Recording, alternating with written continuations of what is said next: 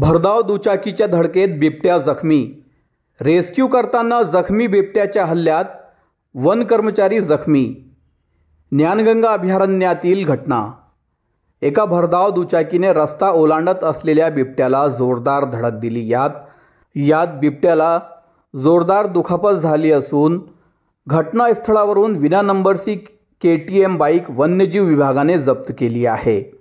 ही घटना सतरा जून रोजी सायंकाळी साडेसहा वाजेच्या सुमारास बुलढाणा खामगाव मार्गावरील ज्ञानगंगा अभयारण्यातील जुना देवहारी फाट्याजवळ घडली आहे.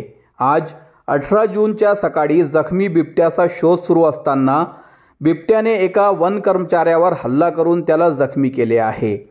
याबाबत प्राप्त माहिती अशी की खामगाव येथील दोन युवक के टी एम बाईकने खामगावच्या दिशेने भरधाव वेगात जात होते.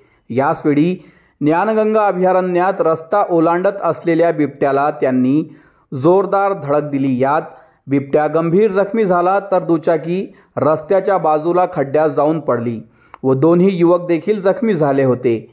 या घटनेची माहिती मिळताच Buldhana R F O Chetan Rathod वनपाल संजय राठोड व इतर वन कर्मचारी तात्काळ घटनास्थळी दाखल झाले. त्यावेळी बिबट्या जखमी अवस्थेत दिसून आला.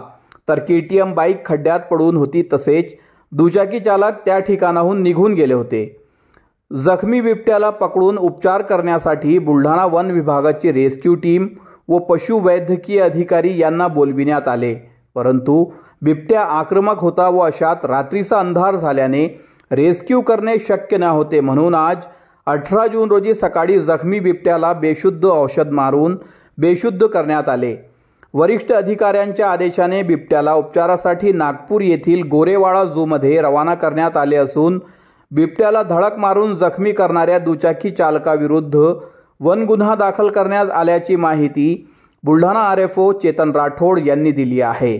आज सकाळी जखमी बिबट्याचा शोध घेत असताना आक्रमक बिबट्याने हल्ला चढविला यात प्रमोद रामदास राठोड वय चाळीस वर्ष राहणार डोंगर खंडाळा हा वन कर्मचारी जखमी झाला असून अगोदर त्याला बुलढाणा येथील जिल्हा सामान्य रुग्णालयात व नंतर एका खासगी रुग्णालयात उपचारासाठी दाखल करण्यात आले आहे.